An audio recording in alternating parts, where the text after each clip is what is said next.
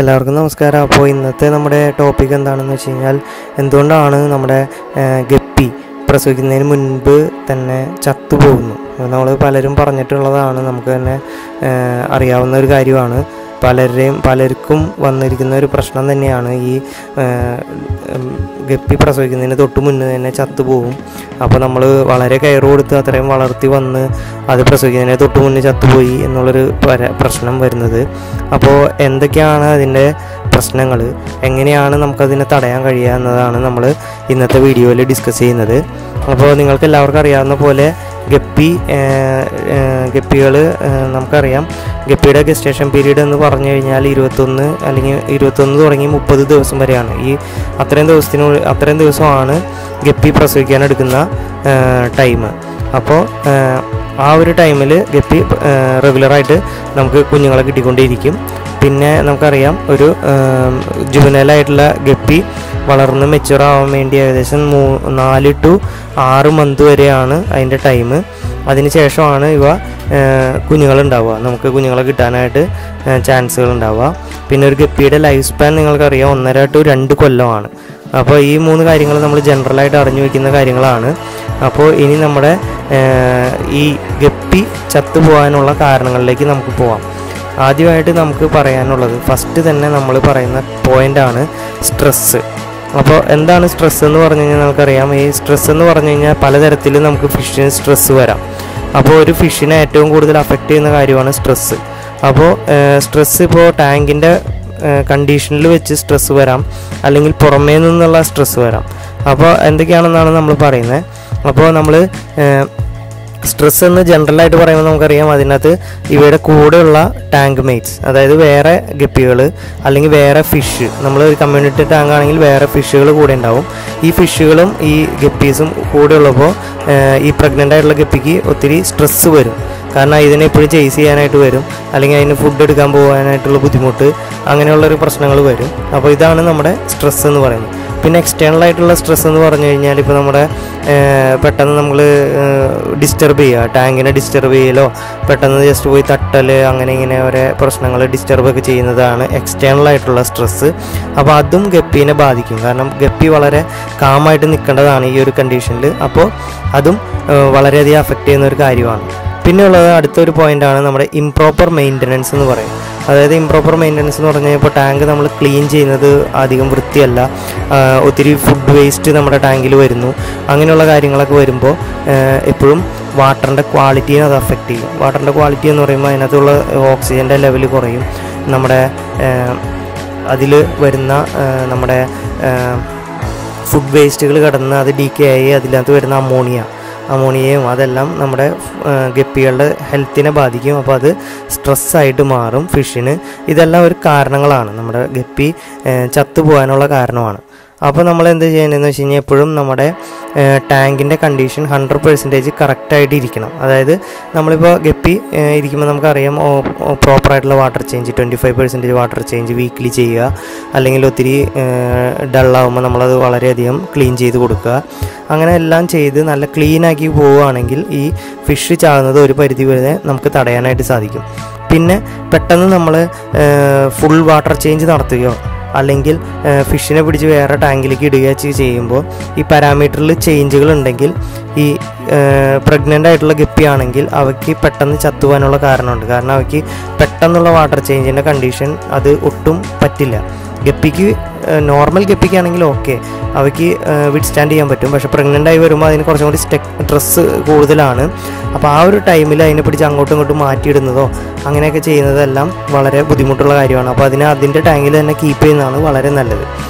അപ്പോൾ അതിനകത്ത് നമ്മൾ പറഞ്ഞു വരുന്നതാണ് ബാഡ് വാട്ടർ കണ്ടീഷൻ ഇപ്പോൾ നമ്മൾ ഫുഡ് വേസ്റ്റിന്റെ കാര്യം പറഞ്ഞു. അങ്ങനെ വാട്ടർ കണ്ടീഷൻ വളരെ മോശമാവുന്ന കാര്യങ്ങൾ എല്ലാം നമ്മുടെ ഫിഷിന്റെ സ്ട്രെസ്സിനെ അഫക്റ്റ് ചെയ്യുന്ന കാര്യമാണ്. ഇപ്പോൾ ഈ സ്ട്രെസ്സ് ഫിഷിനുണ്ട് എന്ന് നമുക്ക് എങ്ങനെ മനസ്സിലാക്കാം? അതെങ്ങനെയാണ് നമ്മൾ കണ്ടുപിടിക്കുന്നതെന്ന് വെച്ച് കഴിഞ്ഞാൽ ഒന്നാമത്തെ കാരണം ഒന്നാമത്തെ നമ്മൾ കണ്ടുപിടിക്ക നമുക്ക് കണ്ട് ഐഡന്റിഫൈ ചെയ്യാൻ പറ്റുന്ന ഒരു നാല് കാരണങ്ങളാണ് നമ്മൾ പറയുന്നത്. അപ്പോൾ അതിനകത്ത് ഒന്നാമത്തെ ആയിട്ട് നമ്മുടെ ഫിഷിന് ലോ എനർജി ആയിരിക്കും. ലോ എനർജി എന്ന് പറഞ്ഞു കഴിഞ്ഞാൽ നമ്മുടെ ഫിഷ് വളരെ ഓടാനായിട്ട് ബുദ്ധിമുട്ടോ അങ്ങനെയൊക്കെ ആയിട്ട് വളരെ എനർജി കുറഞ്ഞ രീതിയിൽ നിൽക്കുന്നത്. അതാണ് നമ്മുടെ ഒന്നാമത്തെ ആയിട്ടുള്ള കാരണം. പിന്നെ സ്വിമ്മിങ്ങിലുള്ള പ്രശ്നങ്ങൾ. എന്ന് വെച്ചാൽ നമുക്കറിയാം സ്വിം ചെയ്ത് പോകുമ്പോൾ വളരെ സൈഡിലേക്കൊക്കെ പോകുന്നു. കറക്റ്റായിട്ട് നേരെ സ്വിം ചെയ്യാതെ അങ്ങോട്ടും ഇങ്ങോട്ടും കോടി പോണ പോലെ നമുക്ക് കണ്ട് മനസ്സിലാവും. അപ്പോൾ അങ്ങനെ സ്വിം ചെയ്യുന്നത് ഈ സ്ട്രെസ്സ് ഉള്ള കാരണമൊക്കെയാണ്.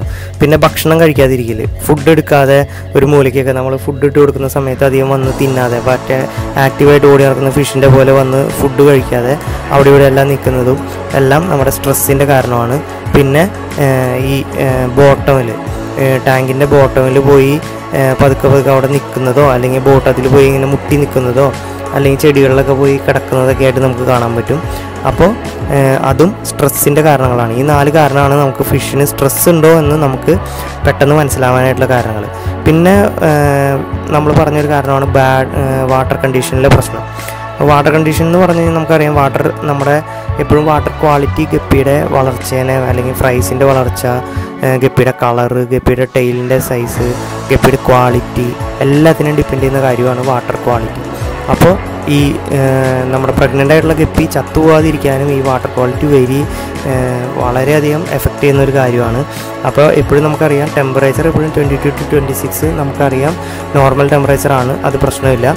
പിന്നെ എപ്പോഴും വാട്ടർ പാരാമീറ്റർ എപ്പോഴും പി എച്ച് എപ്പോഴും നമുക്ക് six point eight to seven point എയ്റ്റിൽ നിർത്താനായിട്ട് ശ്രമിക്കണം. അതായത് നമ്മൾ വേറെ പി എച്ച് കുറയ്ക്കുന്ന ഒന്നും നമ്മൾ ഇട്ട് കൊടുക്കാതിരിക്കുക അപ്പോൾ അങ്ങനെ നിൽക്കുകയാണെങ്കിൽ നമുക്ക് എപ്പോഴും വാട്ടറിന്റെ ക്വാളിറ്റിയും മെയിന്റെയിൻ ചെയ്ത് പോവാം. പിന്നെ വാട്ടർ ചേഞ്ച് നമ്മളെപ്പോഴും ചെയ്തുകൊണ്ടിരിക്കുക. കറക്റ്റായിട്ട് റെഗുലറായിട്ട് ഫുൾ വാട്ടർ ചേഞ്ച് ചെയ്യാതിരിക്കുക.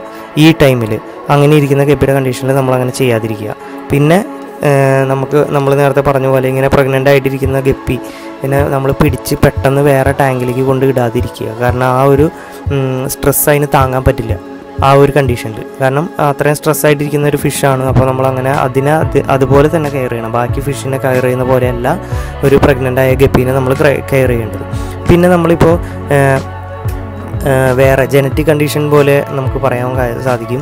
ഇപ്പോൾ നമ്മൾ വാനിക്കുന്ന ഫീമെയിൽ ഓൾറെഡി സിക്ക് ആയിട്ടുള്ള ഫീമെയിൽ ആണെങ്കിൽ അതായത് എന്തെങ്കിലും അസുഖങ്ങളുള്ള ഫീമെയിലാണ് നമുക്കറിയാതെ നമ്മൾ പോയി വാങ്ങിച്ചു ഇപ്പോൾ നമ്മൾ അക്വറിയം ഷോപ്പിലൊക്കെ പോയി വാങ്ങിക്കുകയാണെങ്കിൽ ചിലപ്പോൾ അത് അക്വറിയത്തിൽ കിടന്നോ അങ്ങനെ വേറെ ഫ്രഷിന്റെ കൂടെയൊക്കെ കിടന്ന് അതിന് ചിലപ്പോൾ സിക്ക് അതിൽ നിന്ന് വന്നിട്ടുണ്ടാവും. രോഗങ്ങൾ എന്തെങ്കിലും വന്നിട്ടുണ്ടാവും.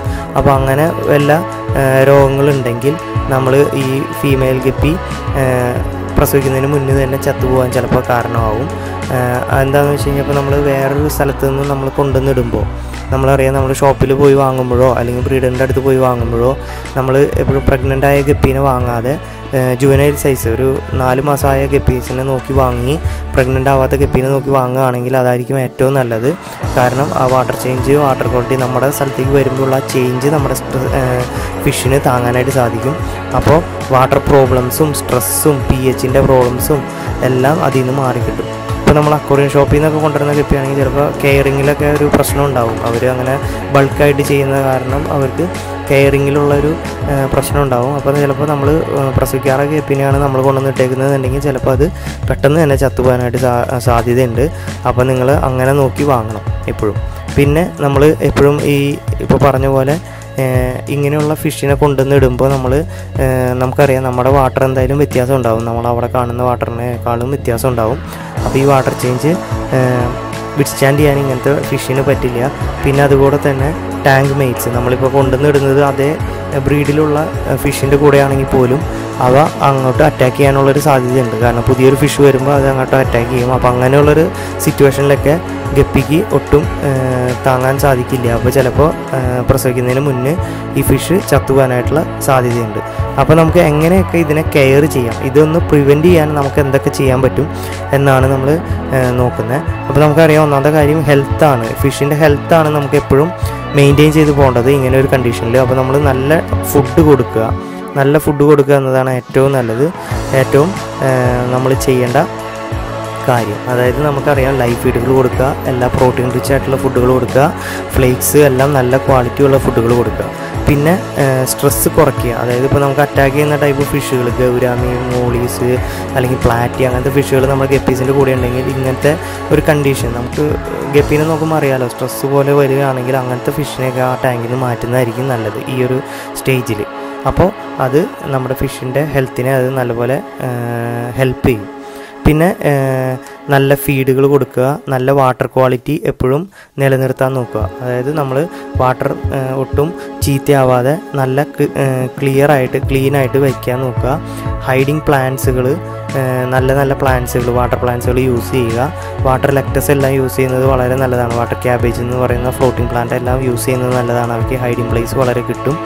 അപ്പോൾ അതെല്ലാം ചെയ്ത് ഗുഡ് ടാങ്ക് കണ്ടീഷൻ അല്ലെങ്കിൽ ചെറിയൊരു എയർ ഫ്ലോ ഉണ്ടെങ്കിൽ സ്പോഞ്ച് ഫിൽറ്ററോ എന്തെങ്കിലും ഒരു ഫിൽറ്ററോ അല്ലെങ്കിൽ എയർ ബബിളോ എയർ സ്റ്റോണോ ഉണ്ടെങ്കിൽ വളരെയധികം വെള്ളം ഒഴുക്കല്ല നമ്മൾ ഉദ്ദേശിക്കുന്നത്. ചെറിയൊരു വാട്ടർ മൂവ്മെന്റ് ഉണ്ടെങ്കിൽ ഫിഷിന് അത് നല്ലതാണ് വാട്ടർ പ്ലാന്റ്സും ഉണ്ടെങ്കിൽ വളരെ നല്ലതാണ് ടാങ്ക് മെയിന്റനൻസും വളരെ ഇമ്പോർട്ടന്റ് ആയിട്ടുള്ള കാര്യമാണ്. അപ്പോൾ ഇത്രയും കാര്യങ്ങളാണ് നമ്മുടെ ഗപ്പി ചത്തു പോകുന്നത് നമുക്ക് തടയാനായിട്ട് സാധിക്കുന്ന ഒരു കുറച്ച് കാര്യങ്ങൾ. അപ്പോൾ നിങ്ങൾ ഇതെല്ലാം നോക്കുമെന്ന് പ്രതീക്ഷിക്കുന്നു. നമ്മുടെ ചാനലിൽ ഇതുപോലെയുള്ള പല ടിപ്സുകളും ഉണ്ട്. നിങ്ങൾ കാണുക സബ്സ്ക്രൈബ് ചെയ്യുക സപ്പോർട്ട് ചെയ്യുക. താങ്ക്